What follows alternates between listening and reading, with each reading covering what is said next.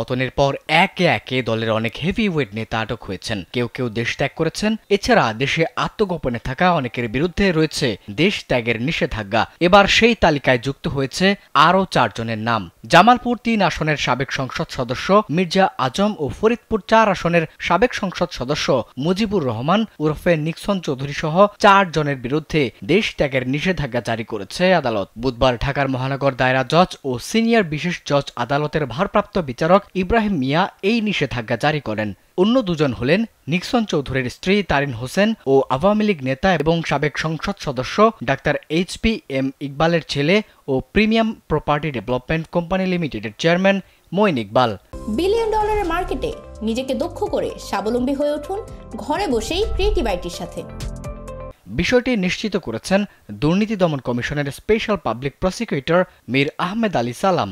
এর আগে মির্জা আজম, নিক্সন চৌধুরী ও তারিন হোসেনের দেশ ত্যাগে নিষেধাজ্ঞার আবেদন করেন দুদকের উপপরিচালক মোহাম্মদ সালাউদ্দিন। আবেদনে বলা হয়েছে, অভিযোগ সংশ্লিষ্টরা ক্ষমতার অপব্যবহার করে বিভিন্ন অনিয়ম দুর্নীতির মাধ্যমে নিজের নাম ও তার পরিবারের সদস্যদের নামে এবং বেনামে দেশে বিদেশে শত শত কোটি টাকার জ্ঞাত আয় বহির্ভূত সম্পদ অর্জন করেছেন। এসব অভিযোগের তদন্ত চলছে। অন্যদিকে মঈন ইকবালের দেশ ত্যাগে নিষেধাজ্ঞার আবেদন করেন দুদকের উপপরিচালক সৈয়দ আতাউল কবির। আবেদনে বলা হয়, মঈন ইকবাল বিভিন্ন ব্যাংক থেকে অনিয়মের আশ্রয় নিয়ে দুইশ ষাট কোটি টাকা আত্মসাৎ করেছেন, যা নিয়ে অনুসন্ধান চলছে। এতে আরও বলা হয়, বিশ্বস্ত একটি সূত্রে দুদক জানতে পেরেছে, অভিযুক্তরা যে কোনো সময় দেশ ত্যাগ করতে পারেন। তারা দেশ ত্যাগ করলে অনুসন্ধান কার্যক্রম ব্যাহত হতে পারে। এ কারণে তাদের বিদেশ গমন রহিত করা প্রয়োজন।